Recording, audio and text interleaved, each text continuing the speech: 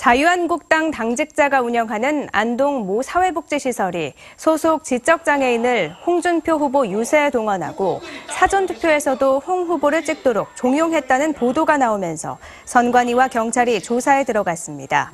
오마이뉴스 보도에 따르면 안동 모 주간보호센터가 어제 열린 자유한국당 홍준표 후보 안동 유세에 지적장애인 14명을 차량으로 동원했고 이후 다시 승합차로 사전투표소로 이동해 2번 홍 후보를 찍도록 했습니다. 문제의 주간보호센터 운영자는 자유한국당 경북선대위 부위원장인 것으로 알려졌습니다. 더불어민주당 경북선대위와 바른정당 경북도당은 일제히 성명을 내고 한국당이 사회적 약자를 동원해 불법 선거를 자행하는 구태를 재현하고 있다며 공개 사과와 사법기관의 철저한 수사를 촉구했습니다.